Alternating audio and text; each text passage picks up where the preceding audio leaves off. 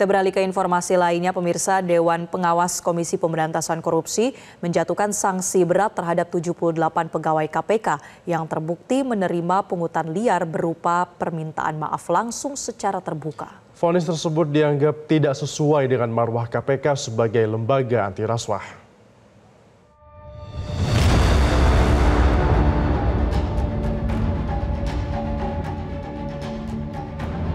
90 pegawai KPK menjalani sidang putusan kasus pungutan liar di tiga rumah tahanan cabang KPK pada hari Kamis kemarin.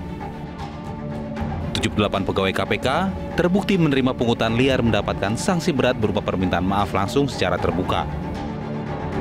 12 pegawai KPK sisanya diduga terlibat pungli diserahkan ke Sekretariat Jenderal KPK karena melakukan pungli sebelum Dewas KPK terbentuk. Anggota Dewas KPK Albertina Ho mengatakan Dewas KPK tak berwenang menjatuhkan sanksi etik kepada inisiator pungli bernama Hengki karena kini bekerja di Pemprov DKI Jakarta.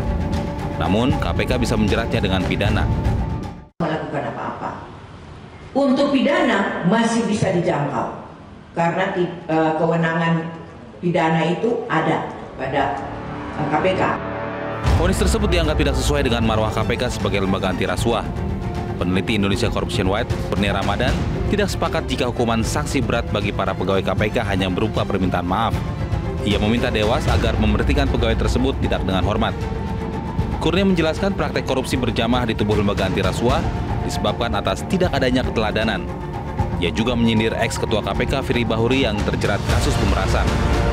Kami mendorong agar Dewan Pengawas merekomendasikan kepada Sekretariat Jenderal KPK untuk menjatuhi hukuman administratif disiplin berupa pemberhentian dengan tidak hormat.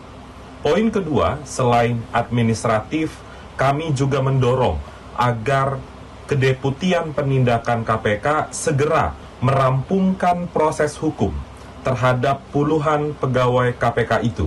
Karena pungutan liar itu dikategorikan sebagai salah satu bentuk dari praktik korupsi yang diatur oleh Undang-Undang Pemberantasan Tindak Pidana Korupsi.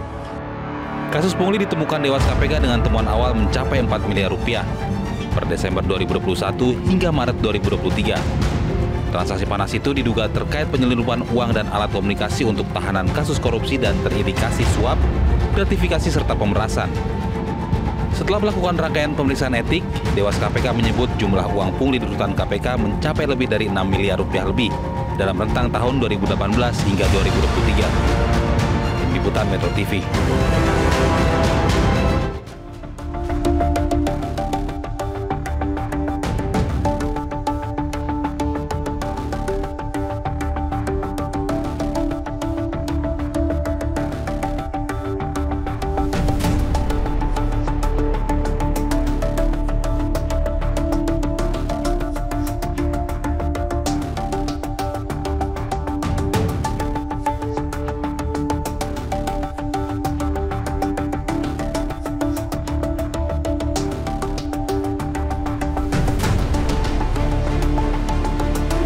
Jelajahi cara baru mendapatkan informasi. Download Metro TV Extend sekarang.